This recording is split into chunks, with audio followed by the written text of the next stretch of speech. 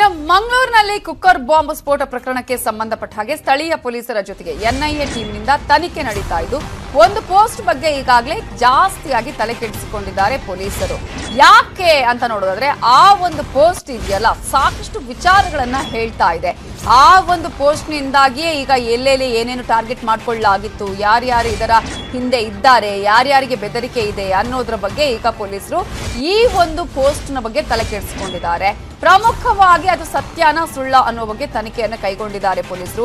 Islamic resistance council ಅನ್ನುವ ಸಂಘಟನೆಯ ಹೆಸರಲ್ಲಿ ಪೋಸ್ಟ್ ಅನ್ನ ಮಾಡಲಾಗಿದ್ದು ಡಾರ್ಕ್ ವೆಬ್ ಮೂಲಕ ಪೋಸ್ಟ್ ಆಗಿದೆಯಂತೆ ಈ ಪೋಸ್ಟ್. ಸೊ ಡಾರ್ಕ್ ವೆಬ್ನಲ್ಲಿ ಸ್ಫೋಟದ ರುವಾರಿ ತಾವೇ ಅಂತ ಹೇಳಿದೆ ಈಗಾಗಲೇ ಐಆರ್ಸಿ ಕದ್ರಿ ದೇವಸ್ಥಾನದ ಬಗ್ಗೆಯೂ ಕೂಡ ಆ ಪೋಸ್ಟ್ನಲ್ಲಿ ಉಲ್ಲೇಖವನ್ನ ಮಾಡಲಾಗಿದೆ. ಅರೇಬಿಕ್ ಭಾಷೆಯಲ್ಲಿ ಹಾಕಲಾಗಿರುವಂತಹ ಈ ಪೋಸ್ಟ್ ಬಗ್ಗೆ ತೀವ್ರತರವಾದ ತನಿಖೆಯನ್ನ ಮಾಡಲಾಗ್ತಾ ಇದೆ. ಈ ಪೋಸ್ಟ್ ನಿನ್ನೆಯಿಂದ ವೈರಲ್ ಆಗ್ತಾ ಇರುವಂತದ್ದು ತಮ್ಮ ಟಾರ್ಗೆಟ್ ಕದ್ರಿ ದೇವಸ್ಥಾನ ಇವರು ತಮ್ಮ ಕೃಷಿ ಹೊಂಡದಲ್ಲಿ ಎರಡು ಸಾವಿರ ಮೀನ್ಸ್ ಹಾಕಿ ಪ್ರತಿ ಆರು ತಿಂಗಳಿಗೆ ಮೂರು ಲಕ್ಷ ಸಂಪಾದನೆ ಮಾಡ್ತಿದ್ದಾರೆ. ನೀವು ಮಾಡಬೇಕಾ? ಅವರಿಂದ ಕಲಿಬೇಕಾ? ಫ್ರೀಡಮ್ ಆಪ್ ಅನ್ನ ಈಗಲೇ ಡೌನ್ಲೋಡ್ ಮಾಡಿ. ತಾನ ಆಗಿತ್ತು ಅಂತ ಹೇಳಲಾಗಿತ್ತು ಈ ಒಂದು ಪೋಸ್ಟ್ ಅಲ್ಲಿ. ಸೊ ಕೇಂದ್ರ ತನಿಖಾ ಸಂಸ್ಥೆಗಳಿಂದ ರಾಜ್ಯ ಪೊಲೀಸರಿಗೆ ಇದರ ಮಾಹಿತಿಯನ್ನ ರವಾನೆ ಮಾಡಲಾಗಿದ್ದು, ಆ ಹಿನ್ನೆಲೆಯಲ್ಲಿ ಈಗಾಗಲೇ ಪೊಲೀಸರು ತನಿಖೆಯನ್ನ ಮಾಡ್ತಾ ಇದ್ದಾರೆ.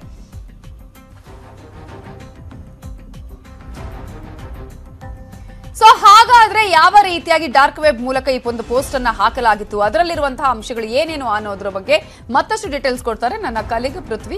Thank you Navita. Islamic resistance council ಅನ್ನುವಂತ ಒಂದು ಸಂಘಟನೆಯಿಂದ ಈ ಪೋಸ್ಟ್ ಬಂದಿರುವಂತದ್ದು ಇದು ಯಾವ ರೀತಿಯಾದಂತಹ ಸಂಘಟನೆ? ಯಾವ ದೇಶಕ್ಕೆ ಸಂಬಂಧಪಡುವಂತಹ ಸಂಘಟನೆ? ಯಾವ ರೀತಿಯಾದಂತಹ ಉಗ್ರ ಸ್ವರೂಪದಾದಂತ ಸಂಘಟನೆ ಅನ್ನುವಂಥದ್ರ ಬಗ್ಗೆ ಇನ್ನೂ ಕೂಡ ಗೊತ್ತಾಗ್ತಾ ಇಲ್ಲ. ಯಾಕೆಂದ್ರೆ ಡಾರ್ಕ್ ವೆಬ್ ಅಂತ ಬಂದಂತ ಸಂದರ್ಭದಲ್ಲಿ ಅದೊಂದು ಅನಾಮಧೇಯ ವೆಬ್ ಅಲ್ಲಿ ಪ್ರಕಟ ಆಗುವಂತದ್ದಕ್ಕೆ ಯಾವುದು ಕೂಡ ಗೊತ್ತು ಗುರಿ ಇರೋದಿಲ್ಲ.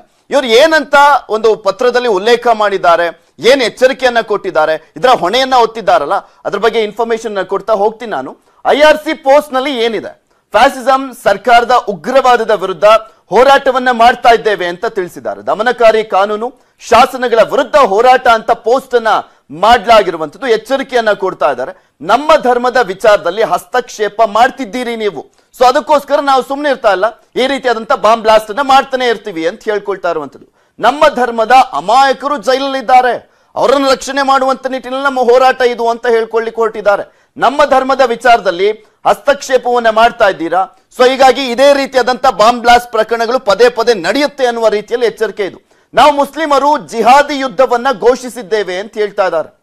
ಇನ್ ಮುಂದೆ ಯಾವುದೇ ಹೇಳಿಕೆ ಘೋಷಣೆ ಮಾಡಲ್ಲ. ಯಾವುದೇ ಹೇಳಿಕೆ ಕೊಡಲ್ಲ, ಘೋಷಣೆ ಮಾಡೋದಿಲ್ಲ. ಬಂದ್ ಬಂದ್ ಬ್ಲಾಸ್ಟ್ ಮಾಡಿ ಹೋಗ್ತಾ ಇರ್ತೀವಿ ಅಂತ ಎಚ್ಚರಿಕೆ ಇದು. ಇನ್ನು ಕಾರ್ಯಾಚರಣೆಯ ಮೂಲಕನೇ ಉತ್ತರಿಸ್ತೀವಿ. ನಾ ಯಾವುದೇ ಹೇಳಿಕೆ ಆಗಲಿ, ಎಚ್ಚರಿಕೆ ಆಗಲಿ, ನಾವೊಂದು ಪೋಸ್ಟ್ ಮಾಡಿ ಅಲ್ಲಿ ಎಚ್ಚರಿಸುವಂಥದ್ದಾಗಲಿ ಯಾವುದನ್ನು ಕೂಡ ಮಾಡೋದಿಲ್ಲ.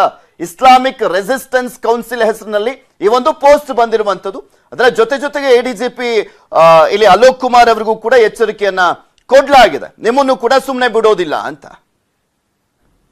ಎಸ್ ಥ್ಯಾಂಕ್ ಯು ಪೃಥ್ವಿ ಡೀಟೇಲ್ಸ್ಗೆ ಇನ್ನು ಐಆರ್ಸಿಯಿಂದ ಅಲೋಕ್ ಕುಮಾರ್ ಅವರಿಗೆ ಎಚ್ಚರಿಕೆಯನ್ನ ನೀಡಲಾಗಿದ್ದು, ಕಾನೂನು ಸುವ್ಯವಸ್ಥೆಯ ಎಡಿಜಿಪಿ ಅಲೋಕ್ ಕುಮಾರ್ ಅವರಿಗೆ ನಿಮ್ಮ ಸಂತೋಷ ತುಂಬಾ ದಿನ ಇರಲ್ಲ ಅನ್ನುವ ಬೆದರಿಕೆಯನ್ನ ಹಾಕಲಾಗಿದೆ ಈ ಒಂದು ಪೋಸ್ಟ್ ಮೂಲಕವೇ.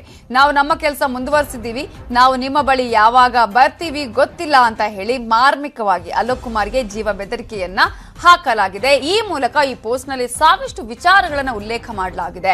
ಅಲೋಕ್ ಕುಮಾರ್ ಅವರು ಯಾವಾಗ ಈ ಒಂದು ಪ್ರಕರಣ ಕೈಗೆತ್ತಿಕೊಂಡ್ರು, ಅಲ್ಲಿಗೂ ಕೂಡ ಹೋದ್ರು, ಮೊನ್ನೆ ಪ್ರೆಸ್ ಮೀಟ್ ಮಾಡಿದ್ರು, ಎಲ್ಲ ವಿಚಾರಗಳ ಬಗ್ಗೆ ಹೇಗೆ ತನಿಖೆ ನಡೀತಾ ಇದೆ ಅನ್ನೋದನ್ನ ಹೇಳಿದ್ದಾರೆ. ಸೊ, ಕಾನೂನು ಮತ್ತು ಸುವ್ಯವಸ್ಥೆ ವಿಭಾಗದ ಎಡಿಜಿಪಿ ಅಲೋಕ್ ಕುಮಾರ್ ಅವರಿಗೆ ಈಗ ಬೆದರಿಕೆ ಹಾಕುವಂತ ಪ್ರಯತ್ನವನ್ನ ಈ ಪೋಸ್ಟ್ ಮೂಲಕ ಮಾಡಲಾಗಿದೆ. ಇನ್ನಷ್ಟು ವಿಧ್ವಂಸಕ ಕೃತ್ಯಗಳನ್ನ ಮಾಡೋದಕ್ಕೆ ನಾವು ರೆಡಿ ಆಗಿದ್ದೀವಿ. ನಿಮಗೆ ತಾಕತ್ತಿದ್ರೆ ತಡೆಯಿರಿ ಅನ್ನುವಂತಹ ಎಚ್ಚರಿಕೆಯ ರೀತಿಯಲ್ಲಿ ಹಾಕಲಾಗಿದೆ.